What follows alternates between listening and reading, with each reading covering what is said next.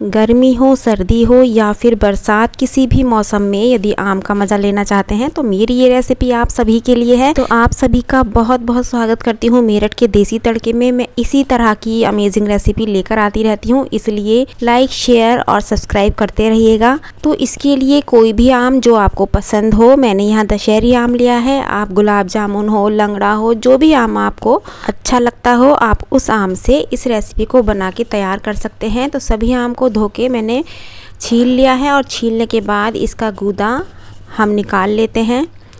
जो भी आपको जिस चीज़ से भी सुविधा हो, स्पून से या नाइफ से, उससे इसका गूदा निकाल लेते हैं, गुठली अलग कर देते हैं।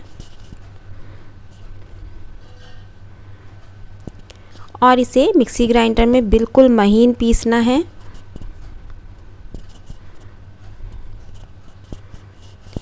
और जब ये पिस जाए तो हमें मेज़रमेंट कटोरी से, कप से, किसी भी चीज़ से आप लेके इसको मेज़र कर सकते हैं। तो यहाँ मैं नाप लेती हूँ कोई भी कटोरी या कप से।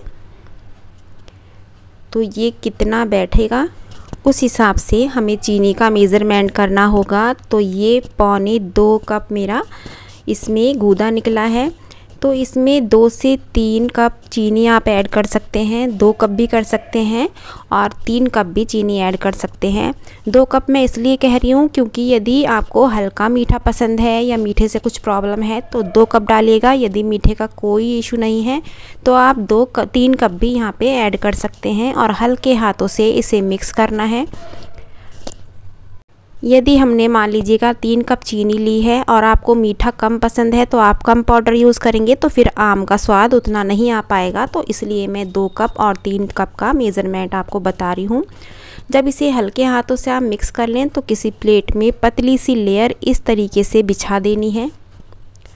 बहुत ज़्यादा मोटी नहीं बिछानी है। जैसे आम पापड़ की लेयर होती है, ठीक उसी तरीके से इसे फैला देते हैं।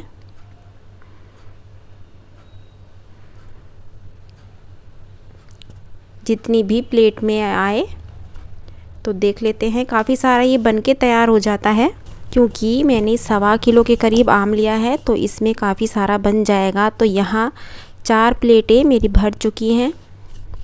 तो इसे हमें करना क्या है? केवल कहीं भी छाए में हमें सुखाना है, धूप में हमें नहीं सुखाना है। पहले और दूसरे दिन हमें छाए में ही सुखाना है। मैंने इसे दो दिन छाए में सुखाया है, और दो दिन का रिज़ल्ट मैं आपको दिखा रही हूँ। किसी भी स्पून से या पलटे से इस तरीके से इसको पलट देते हैं। देखिए, साइड वाला जो पोर्शन है, वो सूखने लगा है और जो बीच का है, वो थोड़ा गीला है तो इसे पलट देते हैं। और दो दिन के बाद इसे आप धूप में रख के सुखा सकते हैं। तो मैं दो दिन इसे छाए में रखा है और बाकी के दो से तीन दिन इसे धूप में रखूँगी। और इसे बाद का रिज़ल्ट मैं आपको दिखाऊँगी। बहुत ही कुरकुरा हो जाता है। ये टोटल मिला के मैंने पाँच दिन सुखाया है। दो दिन छाए में सुखाया है और तीन दिन मैंने इसे धूप में सुखाया है। बिल्कुल करारा हो चुका है तो इसे हम जैसे मसाले पीसते हैं, ठीक उसी तरीके से बिल्कुल पाउडर बना के पीस लेते हैं। यदि थोड़ा भी गीला हो तो आपको ये पीसना नहीं है, क्योंकि हमें स्टोर करके रखना है। और चीनी जब बिल्कुल अच्छे से सूख जाए, ये आम अच्छे से सूख जाए, तभी हमें पीसना है, ये देखिए। जितना जी चाहे इसे छान भी सकते हो। आपको बहुत बारीक पाउडर बनाना है तो छली में छान भी सकते हो या इसी तरीके से इसे स्टोर करके रख सकते हो, क्योंकि जब दूध में मिलाओगे तो वैसे भी ये दूध में आसानी से घुल जाएगा। तो यहाँ सभी को मैंने पीस लिया है। और आप देख सकते हैं, इसमें हमने कोई भी कलर वगैरह का यूज़ नहीं किया है और बहुत ही बढ़िया कलर आता है। और इससे आप मैंगो शेक या फ्रूटी या रसना सभी बना के तैयार कर सकते हैं। अभी मैं आपको बना के भी दिखाऊँगी किस तरीके से आपको बनाना है।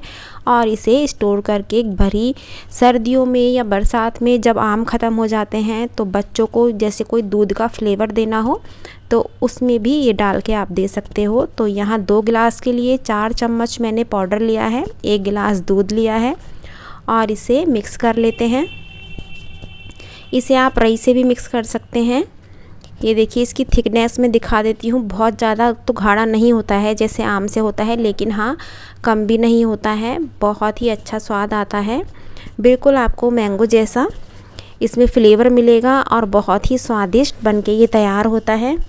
बहुत से बच्चे होते हैं कि बिना हॉर्लिक्स के, चॉकलेट के दूध नहीं पीते हैं तो उन बच्चों के लिए ये पाउडर बना के दीजिएगा। बहुत ही बेस्ट रहेगा, क्योंकि बच्चों को दूध में आम का फ्लेवर मिल जाता है और बहुत आसानी से वो पी भी लेते हैं। तो इसका हम ड्रिंक कैसे बनाएँगे, वो भी मैं आपको बताती हूँ। जैसे रसना या फ्रूटी, आपका पीने का मन है, मान लीजिए आपका शेक पीने का मन नहीं है तो दूसरी जो रेसिपी है, इसमें हम पाउडर लेंगे। एक से डेढ़ स्पून आप इसका पाउडर ले सकते हैं, जितना आपको मीठा पसंद हो। कम मीठा पसंद है तो एक चम्मच से भी हो जाएगा। थोड़े से मैं नींबू का यहाँ रस ऐड करूँगी। और इसमें बस बिल्कुल ठंडा पानी हम ऐड करेंगे तो आप देख सकते हैं। कलर कितना बढ़िया आया है और स्वाद भी बहुत अच्छा आता है। आप चाहो तो इसमें थोड़ा सा चाट मसाला वगैरह भी डाल के तैयार कर सकते हैं, जैसे सिकंजी वगैरह हम तैयार करते हैं। तो ये बन के तैयार हो गया हमारा जैसे रसना होता है या फ्रूटी होती है, थोड़ा यदि इसे आप गर्म पानी में पका के करेंगे तो ये गाढ़ा हो जाएगा। बिल्कुल जैसे फ्रूटी होती है, ठीक उसी तरीके से इसकी कंसिस्टेंसी आएगी। यदि आपको ये रेसिपी पसंद आई है तो प्लीज़ लाइक शेयर ज़रूर कीजिएगा। और चैनल पे पहली बार आए हैं तो सब्सक्राइब भी कर लीजिएगा। कल सुबह फिर मिलती हूँ एक नई रेसिपी के साथ। Thank you